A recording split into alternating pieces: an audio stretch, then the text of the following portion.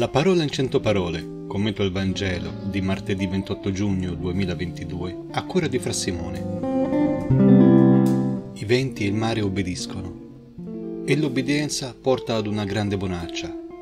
Come mai per noi uomini è così difficile vivere questa cieca obbedienza?